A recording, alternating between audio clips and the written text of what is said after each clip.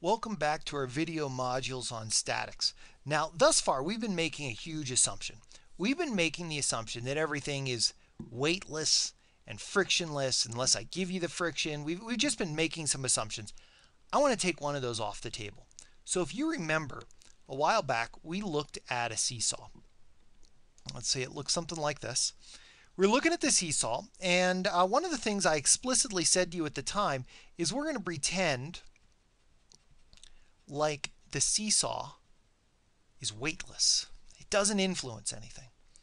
And in the same way, I went down here and I took a look at this uh, this this um, beam, and I said these are your forces: your force the hinge, your mass, your your you know these other forces, and we summed it as a torque. But I said that the mass of the beam, we're going to neglect it. Well, we know that there's that it has mass. We know that it's there but we took it out because it just made things a little too complex. Let's get this stuff off. Let's get this off the um, whatever off the desk, and let's revisit the idea. How do we think about mass on objects? First, I want to I want to a good exercise for that is let's imagine you know the NBA finals are going on right now. It's the and uh, the Heat and the Spurs. And it's, it's fun to watch. It's a good game. It's coming down to I think Game Six tomorrow. And um, all right, so I'm a bad drawer. I'm not, I'm not too good at some of this stuff. But let's take we say we take a basketball, and we put that basketball in like the specially designed like foam case that kind of holds it. All right, and it's going to wrap around the basketball, and there's going to be force. Well, let, us say it's just it's not pushing in on it. Uh, you know, forces going up. And the weight of the basketball is somewhat distributed. It's like in a little cradle. Well, just as easily, I could take this basketball and I could put it on a table. Whoops. And when I put it on a table, something's going to happen. If that basketball weighs, you know, I don't know, like five pounds, here, it, that, those five pounds are going to be distributed all around the sphere. But if I put it on a table, there's going to be five pounds at one point. And that one point is going to be in the center. This point, or I should say, um, this force, five pounds, it's the same, same force, is operating through the center of the ball. At the center of it, it's an idea that we see all the time. We're going to call this the center of gravity. Center of gravity. This is the point where if we are only applying the force in one place, we're going to apply it straight through the center and it's going to hold the whole thing up. You've probably done this before. Imagine a ruler.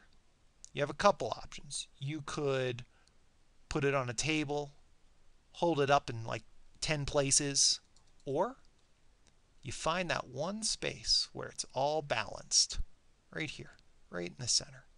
That's the that's going through the center of gravity. In fact, the center of gravity is probably right about here. Um, we can get a feel for this, which is what we're going to do today. Just get an intuitive feel of it by just thinking about it when we see things. Let's imagine we have a triangle like this. Okay, see how it's it's symmetrical on both sides? We know that we could hold it up by applying the arrow right in the center. We don't know where exactly the air, the center of gravity is because we don't know how high up it is. But you get the idea here. However, if we were to do something like an equilateral triangle, now take a look at what we can do.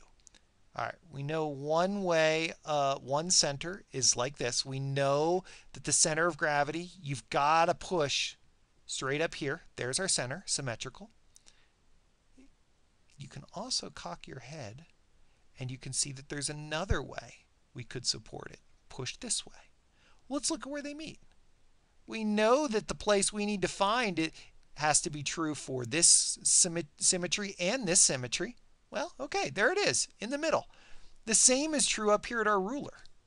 Let's take a look at this. We have this is right in the center, And then we also, you know, we said it's a ruler. Well, they're pretty rectangular. Right through the center is going to be another way of symmetry, another axis. The center of gravity will always be along those axes of symmetry. Uh, finally, one example I had was this weekend I was building a deck. And I used like these I-beams to hold the deck off of the house. Whoops. Hold the, oh, that's unfortunate. I use these I-beams to hold the deck off of the house uh, to eliminate water damage and an I-beam is an interesting, you know, engineering tool, but we can also see the center of gravity. There it is, right and left. Now top and bottom, perfectly symmetrical. There you have it. One final item that I'm going to tell you, um, if we're dealing with homogeneous material or materials that are consistent like plane all throughout. The center of gravity, we referred to it as the centroid. The centroid. And that's how I will be talking about it by default going forward. If we start dealing with materials that um, that that change, like maybe they're denser on one side and and and um, and lighter on the other, then I'll go back to using center of gravity. But we use centroid when um, when we're dealing with homogeneous material. That's that's just one OUS. That does uh, not look right, but I will correct it. Here, let, let, me look it up for a second. Let me figure this out. Sorry about that. That was uh, why my daughter went to the county spelling bee and I did not. There we go, homogeneous. Um, join us on our next video when we look more at the definition of the center of gravity rather than just the concept. I look forward to seeing you then.